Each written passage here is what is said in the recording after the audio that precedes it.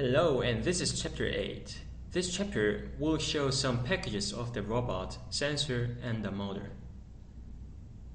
The contents are about robot packages, sensor packages, and also the motor packages. What we see first is the robot packages. There are lots of mobile robots, manipulators, and the mobile manipulators, which is a mixed one, and social robots as well and the number is about 90.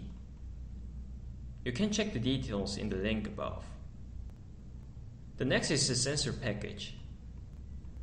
Also, there are lots of sensors available in ROS. The LiDAR sensor, which scans objects with laser and figures out their distance.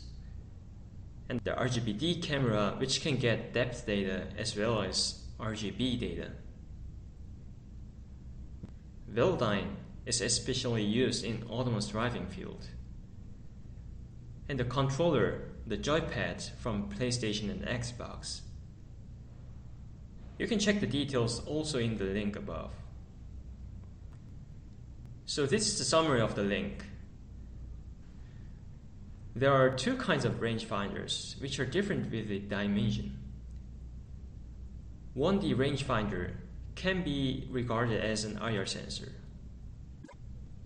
and the 2D rangefinders might have a wide field of view, or it rotates to seek the object from designated field. The 3D sensor is the depth camera that we saw many times in the previous. The package for audio or speech recognition and the cameras and the others are available in ROS. Please check this later. Then let's test the camera package. If you have a laptop and if it has a camera inside, the extra USB camera might not be needed. Then install the related packages here. After the installation, ROS run the node. If you don't know whether the number of the camera port is, then check the number by ls slash dev slash video star. You can find the number if the camera is properly connected. So let's keep going. Here are three ways that can show the video images, but these are already introduced in previous tutorials. If you're using the RViz to see it, if you're using the RViz to see it, you should add an extra display for showing the image, then change the name of image topic. Then the following results will be get by each image viewers. The second practice is to send the image from a computer to another.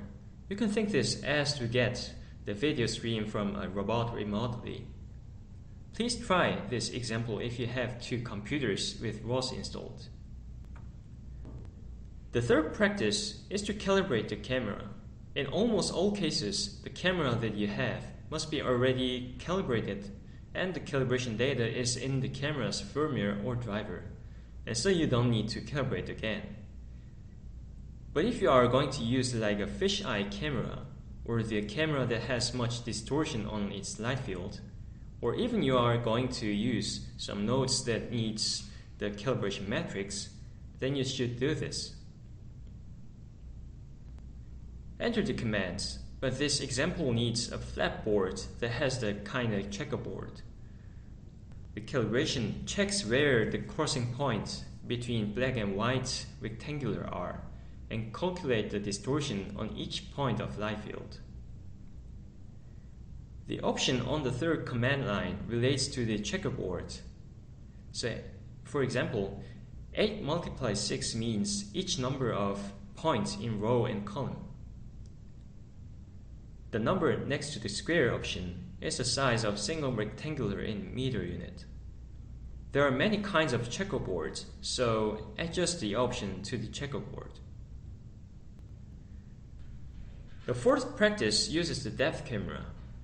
You can use this as well if you have an Asus Xtion or the Orbbec Astra.